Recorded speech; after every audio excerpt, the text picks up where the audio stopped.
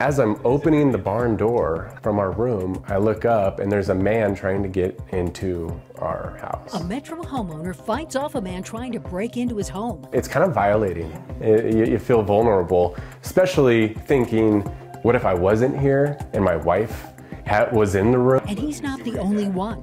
Tonight, we have an alert for a man who police say tried to break into several homes in the same area. The rain was coming directly out of this line here. It was like a waterfall. The week's rain is over, but its impact is not. I was like, this is awful. Like, this is horrible. And I was like screaming on the phone with my mom. And these residents may not see any kind of compensation from their landlord. We look into the protections you have. Plus, there's now a new space for victims of the Boulder King Soopers shooting to find peace.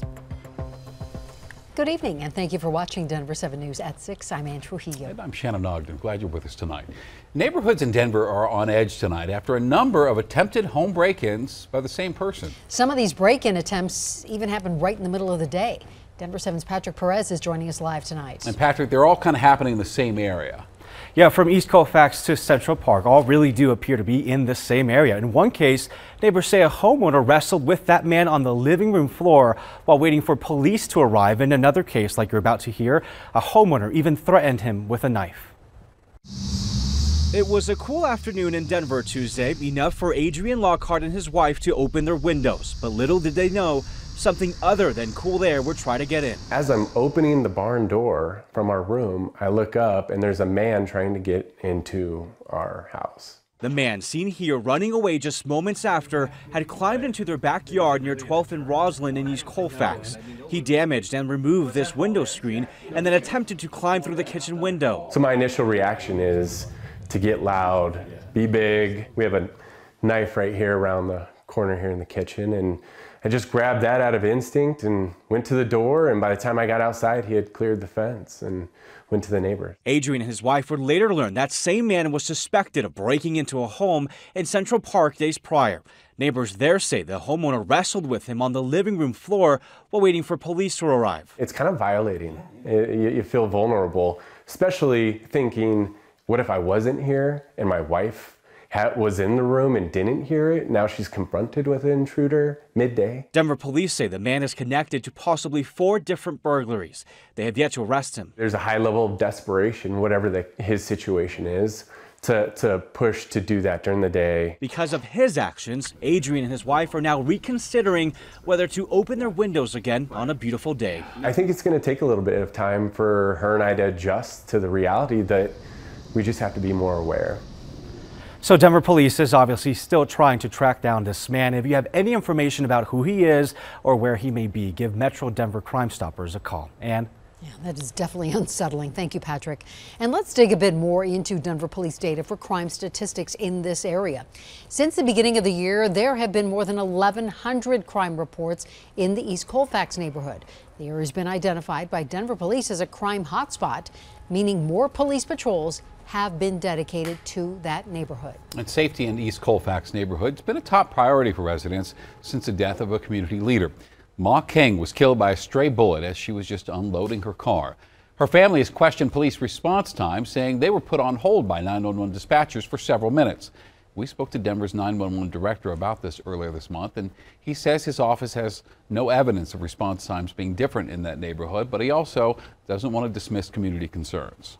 It's incumbent upon us in public safety and for me here at 911 to review everything from our training policies to our uh, interpreter services and make sure that we are serving all communities, including the East Colfax community, to the best of our ability. And Denver police echoed that response, saying they clearly have work to do to ensure safety in that neighborhood. Exactly one month ago today, Denver police attempted to arrest a man as bars let out in downtown Denver. And in doing so, three officers fired seven shots at him, injuring six innocent bystanders in the process. And today, three of those people spoke to Denver 7. Now, it was yesterday the police body cam video was released showing the moments leading up to the shooting.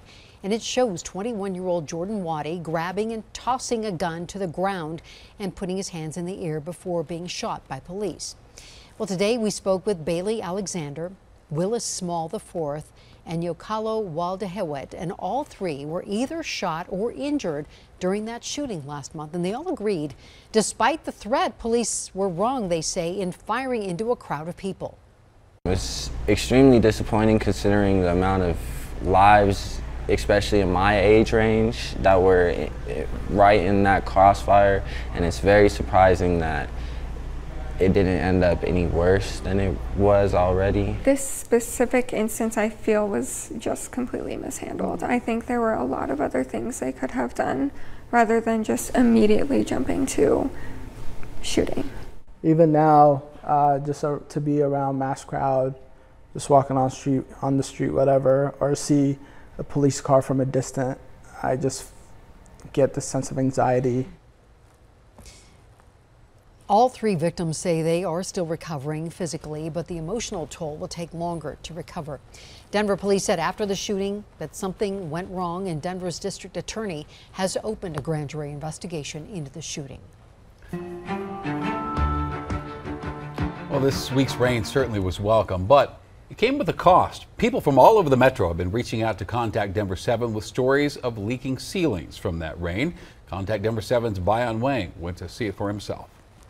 And here goes the leak again. Heavy rain from Monday's storm. Into the fish tank. It is a 10 gallon fish tank and we empty this tank four times. It's only been a month since Barbie Ross moved her family into the lofts at Lincoln Station in Lone Tree. Now she wants out. The rain was coming directly out of this line here. It was like a waterfall. That's what it looked like from here. Ross says the leak became even worse, damaging various pieces of furniture and personal belongings. That is about to cave. When the ceiling started to bubble, Ross called 911 and South Metro Fire showed up. And that's not right. If you guys see, I mean, I think the water, the rain stopped, but if you see it start to bubble like that. Ross says she's staying in a hotel in the meantime spokesperson for the apartment tells Denver 7 they will pay for three days of her stay there while damage to her living room is being repaired. Ross isn't the only Denver Metro tenant in the same situation.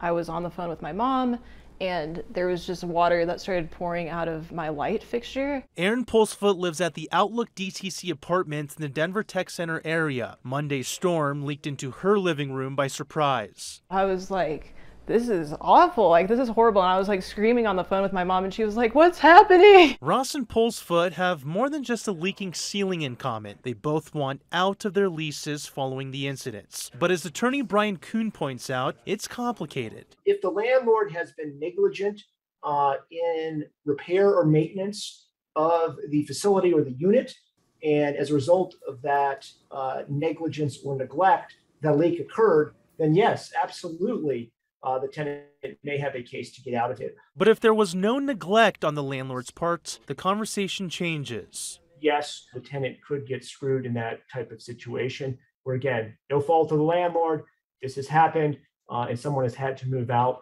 Uh, one would hope through dialogue and discussion that some sort of professional accommodation could be reached. Those sort of accommodations in the Denver metro are much more ideal than often seen. Bayan Wang, Denver 7.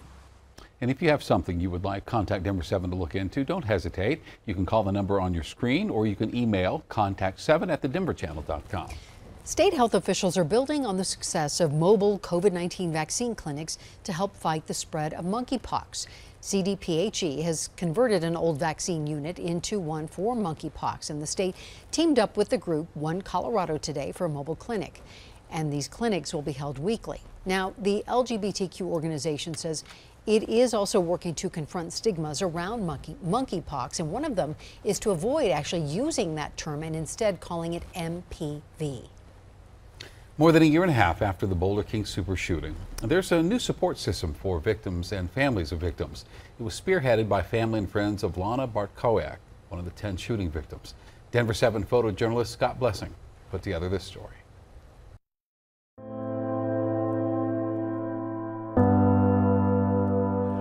Really surreal. It was, you know, just the, it's, I'm really, just really proud of how this came into fruition. This is a memorial gazebo that we built just this couple weeks ago.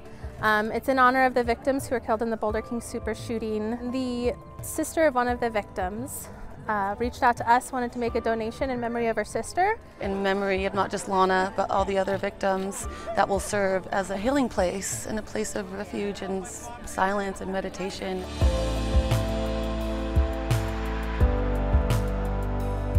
Having these kind of memorials and these opportunities to grieve in a way that's constructive is really, really important. We planted 10 roses, one for each of the victims. Alana loved roses, we all love roses. The rose essence, the rose flower, um, has the highest vibration of any flower energetically. So it's a way to keep the vibration high around the people who use the gazebo. It's important for me for them to be remembered, for my sister to be remembered, and them all to be remembered, and for to turn this horrible situation and try to bring some good out of it and to inspire. And this gazebo isn't open to the public, but if you're interested in visiting, call Animal Assisted Therapy Programs of Colorado to see if there's a time available. It was a beautiful day today. We have some hotter temperatures coming for tomorrow.